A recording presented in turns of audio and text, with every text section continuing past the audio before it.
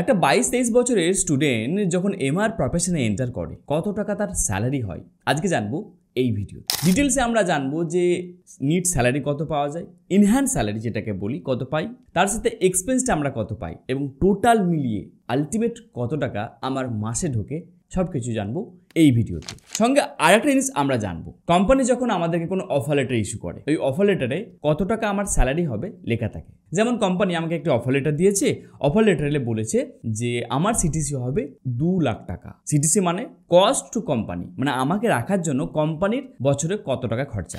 দু লাখ টাকা মানে যদি আমরা ভাগ করি বারো মাস দিয়ে, তাহলে দাঁড়াচ্ছে ষোলো হাজার ছশো টাকা। আমরা তো বলব, বললে বললে, ষোলো হাজার ছশো টাকা একটা ফ্রেশার্সের জন্য খুবই ভালো। কিন্তু আলটিমেট দেখতে পাই যে আমরা প্রথম ম্যাচে যখন স্যালারি পাই, কত পাচ্ছি? চোদ্দ হাজার টাকা। তাহলে এই যে ডিফারেন্সটা হচ্ছে, কেন? সেটাও কিন্তু এই ভিডিওতে জানব।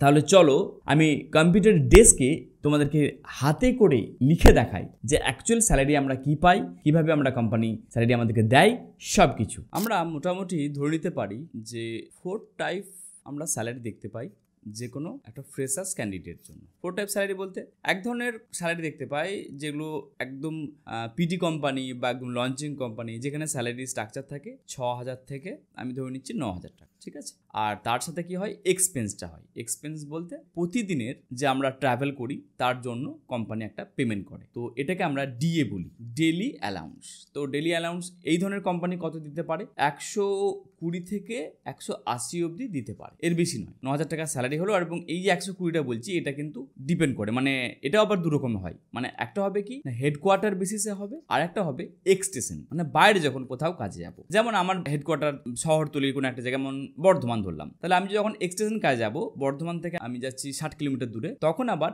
এটা ভ্যারি করবে ডেলি অ্যালাউন্সটা আরও তিরিশ টাকা বা চল্লিশ টাকা অ্যাড হবে। সেখানে হবে কত? একশো, আমি ধরে নিচ্ছি ষাট টাকা। আমাদের কোম্পানির কাছ থেকে অ্যাড হয় ট্রাভেল অ্যালাউন্স টি অ্যাড হয়। টি অ্যাড হয় বলতে মানে আমরা যখন যাচ্ছি, এখানে পেট্রোলের কস্টিংটা দেয়। পেট্রোলের কস্টিংটা আবার কোম্পানি এই ধরনের কোম্পানি যেখানে বললাম টাইপ ওয়ান কোম্পানি এটা হচ্ছে টাইপ ওয়ান এদের ধরো এক টাকা কুড়ি পয়সা থেকে এক টাকা আশি পয়সা অবধি হয়, ঠিক আছে? এটা হচ্ছে ট্রাভেল অ্যালাউন্সটা দেয়। তো ট্রাভেল অ্যালাউন্সটা কীভাবে ক্যালকুলেট হয়? ধরো আমি একটা এক্সটেশন গেলাম যেখানে আমার টোটাল যাওয়া আসা করতে ট্রাভেল হয়েছে একশো কিলোমিটার। আর একশো কিলোমিটার জন্য, আর আমার যদি কোম্পানি এক টাকা কুড়ি পয়সা যদি দেয় পেট্রোলের জন্য, তাহলে একশো কুড়ি টাকা হলো। তার সাথে আবার ডিএটা কি বল ধরেছি আমরা এক্সটেশন যেহেতু আমি কাজে গেছি, তাহলে সঙ্গে আবার একশো ষাট টাকা অ্যাড হবে। ঠিক আছে? তাহলে এটা টোটাল হয়ে যাচ্ছে দুশো আশি টাকা একদিনের। তো এই যে স্যালারির সাথে এই যে মানে আলাদা করে যে ট্রাভেল অ্যালাউন্সটা অ্যাড হতে থাকে, তাহলে গ্রস যদি আমরা ধরি অন অ্যান অ্যাভারেজ এই ধরনের কোম্পানিতে তাহলে আমরা ধরতে পারি যে ন হাজার টাকা। প্লাস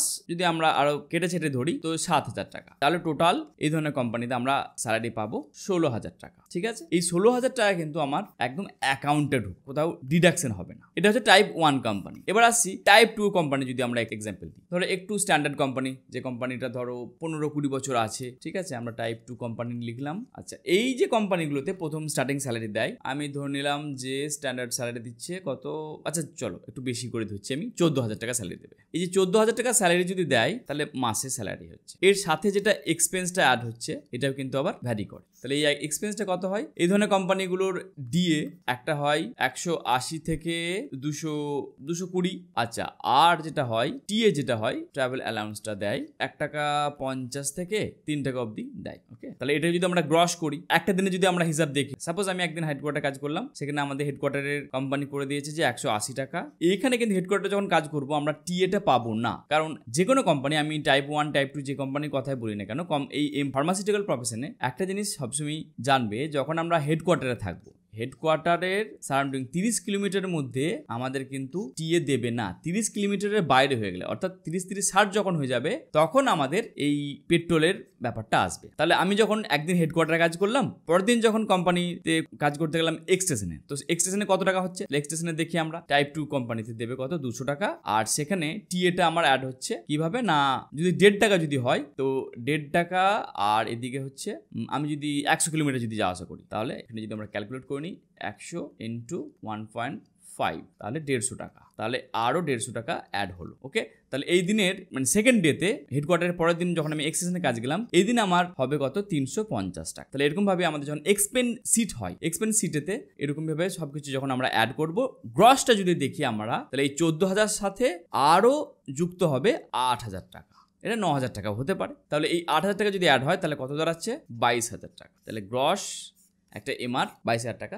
আর্ন করতে পারে। এবার আরেকটা ইম্পর্টেন্ট জিনিস আসছি, যেটা খুব আমাদের জানা প্রয়োজন। যখন আমরা কোম্পানিতে জয়েন করি, আমাদের কোম্পানিতে অফার লেটার দেয়। অফার লেটারে কি লেখা থাকে? যারা পেয়েছ অলরেডি জানো। একটা এক্সাম্পল আমি দেওয়ার চেষ্টা করছি, যারা এখন জয়েন করেনি, তাদের ক্লিয়ারিটি করার জন্য। কোম্পানি লিখে দেবে ঠিকই, না ডিয়ার অমুক, আমার যার নামে লিখছি, যেমন আশিক মন্ডল মানে কোম্পানি আমাকে অফার করছে। দিয়ে আমাকে সাবজেক্ট লিখলো, বলল যে we are glad to say you that we are posting you in Bardhaman headquarter এরকম ভাবে কিছু কথা লিখে দিল এবং আমাকে বলবে এখানে সিগনেচার করতে। তো এই অফার লেটারে আমাদের যেটা করতে হয়, যখন কোনো অফার লেটার ইস্যু হয়, তো ক্যান্ডিডেটকে সিগনেচার করতে হয়। যে আমি এটাকে অ্যাকসেপ্ট করলাম, এই অফার লেটারটাকে গ্রহণ করলাম। এবার এই অফার লেটারে যেটা বোঝাচ্ছি তোমাদেরকে মেন জিনিস যেটা বোঝে, এই অফার লেটারে কোম্পানি আমাকে সিটিসি দিল। মানে এখানে সাবজেক্টে লেখা থাকল যে আশিক মন্ডলকে আমরা সিটিসি দিচ্ছি। সিটিসি দিচ্ছি কত? দু লাখ টাকা টু লাখ। আচ্ছা সিটিসি এর ফুল ফর্মটা একবার জেনে নিই আমরা। কস্ট টু কোম্পানি যেমনটা আমি প্রথমেই বলেছিলাম ভিডিও স্টার্টিং এতে। তো কোম্পানি যখন আমাকে নিচ্ছে, কোনো একটা এমপ্লয়িকে নেয়, তো কোম্পানি ক্যালকুলেট করে যে একটা ছেলেকে যখন আমি আমার এমপ্লয়ি হিসেবে নিচ্ছি, তার জন্য আমাকে বছরে কত খরচা তাহলে বছরে খরচা লিখেছে দু লাখ টাকা। এবার আমরা যখন দু লাখ টাকা দেখি, তখন আমরা কি ক্যালকুলেট করি? আরে বাপরে, দু লাখ টাকা। যেটা আমি করেছিলাম, এই ভুলটা যাতে তোমার না হয়, এটাও তোমাদেরকে বলে রাখি, মজার ব্যাপার। দু লাখ টাকা দিয়ে আমি ডিভাইড করলাম বারো দিয়ে। তখন দেখতে পাচ্ছি কত না? ষোলো হাজার ছশো সামথিং আসছে। তাই আমি বললাম, বাহ, খারাপ নয়। ষোলো হাজার টাকা তো আসবেই, তার সাথে আবার এক্সপেন্স হবে। বাট আমি যখন স্যালারি পেলাম মানে নেট যখন আমি স্যালারি স্লিপ পেলাম, তখন দেখতে পাচ্ছি আমার কত দিচ্ছে, না, চোদ্দ হাজার ওই আটষট্টি টাকা মতো। এই যে কনফিউশনটা তোমাদের মধ্যে অনেকের এখনও হয়তো আছে বা থাকবে এই কনফিউশনটা এই ভিডিওতে ক্লিয়ার করে দিই। তো স্যালারি স্লিপ যখন আমাদের কোম্পানি দেয়, এই ষোলো হাজার টাকা কিন্তু আমাদের মানে গ্রস পেমেন্ট এবং নিট যে পেমেন্টটা হচ্ছে, এই চোদ্দ হাজার টাকা। তাহলে বাকি টাকাটা গেল কোথায়? তাই না? এটা তো আমার টাকা, তুমি বলতে পারো। ইয়েস এই টাকাটা আমার টাকা। এই টাকাটা নিয়েই কিন্তু একটা ট্রিক্স আছে। ট্রিক্সটা কি? তো ষোলো হাজার ছশো টাকা ধরলাম। এবার কোম্পানি কি ফান্ড আমাকে ফেলে দেয় দেখো। প্রথমে আমাকে একটা কোম্পানি করবে কি? পিএফ ফান্ডে ফেলে দেয় আমার ওই টাকাটাই, ষোলো হাজার ছশো টাকা। তো ষোলো হাজার ছশো থেকে প্রথমে চলে গেলো ধরো নশো টাকা। আবার কোম্পানি আমাকে বলবে যে, আমার কোম্পানিতে আপনি যেহেতু আছেন, তাহলে আপনাকে একটা ইএসআই মধ্যে ফেলে দিচ্ছি। সেখানে চলে যাবে দেড়শো টাকা। আবার কোম্পানি কি করে? যে কিছু হিডেন চার্জেস রাখে। যেমন কোম্পানি যখন আমাদেরকে ট্রেনিং দেয়, এই সব কিছু কিন্তু কোম্পানি প্ল্যানিং করে রাখে। ট্রেন ট্রেনিং বা আদার্স কিছু খরচা হিসাবে। আরও দেখা যাচ্ছে যে, দেড়শো টাকা প্রতি মাসে নিয়ে নিচ্ছে। তাছাড়া কোম্পানি আর কি করে? আমার এই গ্রস এই যে স্যালারি দেখাচ্ছে, তার থেকে কি করে? আমাদের যে বোনাস দেয় কোম্পানি বোনাসটা আমরা ভাবি, যেমন পুজোর সময় পাই, আরে বাপরে, খুব মজার জিনিস, আমার বোনাস আমার বোনাস দিয়েছে কোম্পানি অ্যাকচুয়াল কোম্পানি কিছু করে না। তোমার এই ষোলো হাজার টাকা থেকেই ভেঙে তোমাকে পরে দেয় একবারে। তো বোনাস হিসেবে চারশো টাকা কেটে নিচ্ছে ওকে তারা আলটিমেট এই টাকাগুলো সব কিন্তু বেরিয়ে যায়। মানে পিএফটা ডেফিনেটলি তোমার লাভ হয়। কি না প্রভিডেন্ট ফান্ডে পড়ে। মানে তোমার থেকেই কোম্পানি ধরো নশো টাকা ধরো অ্যাড হলো, সেটা ধরো তোমার বাড়তে থাকবে, আস্তে আস্তে। আচ্ছা ইএসআইটাও ডেফিনেটলি ভালো, কারণ তোমার ধরো ফ্যামিলি শরীর খারাপ হলো বা কিছু অসুবিধা হলো, সেটা কাজে লেগে যায় একটা সময়ের পর। তো কিন্তু কোম্পানি তুমি এটা ইউজ করো আর নাই করো। যেমন আমি এই ইএসআই কখনো আমি অ্যাপ্লাই করিনি, কিন্তু কোম্পানি আমার কাছ থেকে ডিডাকশন করে নিয়েছে। ট্রেনিং পারপাসে বোনাস পারপাসে আরও কিছু গ্র্যাজুইটি বলে একটা অপশন হয়। এ ধরনের অনেক কিছু আছে যেগুলো কোম্পানি ভালোভাবে এগুলো সিস্টেমেটিক করে রাখে। আমরা অনেকে এগুলো অ্যাকচুয়ালি ক্লিয়ার করতে পারি না ব্যাপারটা। যেমন আমি যখন আমার ম্যানেজারকে জিজ্ঞাসা করেছিলাম যে, কি ব্যাপার? আমার তো স্যালারি হওয়া উচিত তো এই টাকাটা? তাহলে গেল কোথায়? বলো ও, ওটা তো পিএফ কেটে জানলাম মানলাম যে পিএফ কেটেছে নশো টাকা। বাকি টাকাটা কি হলো? তো গ্র্যাজুইটি অপশন হয়। গ্র্যাজুইটি অপশনটা কি? ধরো আমি একটি কোম্পানিতে পাঁচ বছর আছি। পাঁচ বছর থাকার পর কোম্পানি আমাকে একটা টাকা পে করে। কোম্পানি পাঁচ বছর থাকার পর পে করার আগে ওই গ্র্যাজুইটি হিসেবে আমার কাছ থেকে, আমি যখনই জয়েন করলাম, আমার কাছ থেকে কিন্তু আরও কুড়ি টাকা বা দেড়শো টাকা ভাবে ডিডাকশন করতে থাকে। এরকমভাবে অ্যাকচুয়ালি স্যালারি স্লিপটা করে কোম্পানি ওকে এটা আমি পারফেক্ট বলছি না, এটা আইডিয়া দেওয়ার চেষ্টা করছি। তো এবার গ্র্যাজুইটির ক্ষেত্রে দেখো, ধরো একটা কোম্পানি তুমি জয়েন করেছ, দু বছর কাজ করলে, দু বছর কাজ করার পর কোম্পানি ছেড়ে দিলে। এই যে টাকাটা তোমার যা কিছু হলো, টাকাটা কিন্তু কোম্পানি আবার পুনরায় ফিরে পেয়ে গেল। কোম্পানি গেলে তোমাকে দিতে হলো না টাকাটা। তাহলে আলটিমেট এই যে ডিডাকশন হয়ে আমাকে নিট স্যালারি দিচ্ছে কত?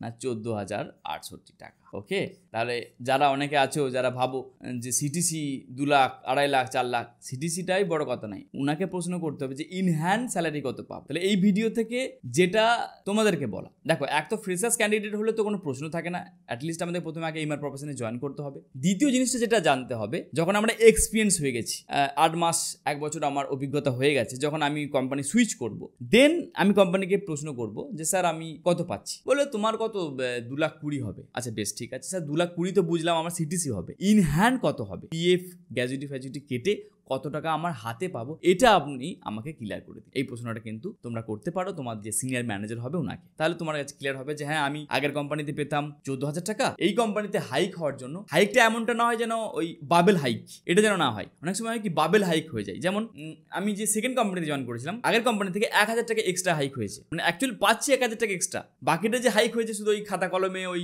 পিএ পিএসআই এই গ্যাজুটি ফ্যাজুটিতেই তো এই জিনিসটা কিন্তু ক্লিয়ার করে নেবে। যে ম্যানেজার বাবু আছেন, ওনাকে বলবে যে, আমার ধরো এখন, একটা- একটা কোম্পানিতে তুমি ধরো চোদ্দ হাজার টাকা স্যালারিতে আছো হাইক নিচ্ছ। পরে কোম্পানিতে যাচ্ছ। সেখানে কি হবে? যে দেখতে পাচ্ছ যে আলটিমেট ইনহ্যান্ড কত পাচ্ছ? চোদ্দ থেকে সতেরো হলো কি? সেটা ইম্পর্টেন্ট না দেখা গেলো চোদ্দ থেকে শুধু পনেরো হাজার টাকা শুধু স্যালারি হলো, এক হাজার টাকা হাইক হলো, আর বাকি যে হাইকটা শুধু হলো খাতা কলম। এটা যেন না হয়, এই বিষয়টা একটু দেখে নিও ওকে আশা করি এই ভিডিওতে স্যালারি সম্পর্কে যা কিছু তোমাদের প্রশ্ন ছিল মনে মনে ক্লিয়ার করতে পেরেছি। তবুও যদি তোমাদের কোনো ডাউট থাকে, অবশ্যই কমেন্ট করো। আর এমার সংক্রান্ত ভিডিও পাওয়ার জন্য চ্যানেলটা সাবস্ক্রাইব করতেই হবে, তাই না? তাহলে পরের ভিডিওতে আবার দেখা হচ্ছে। Thank you very much that.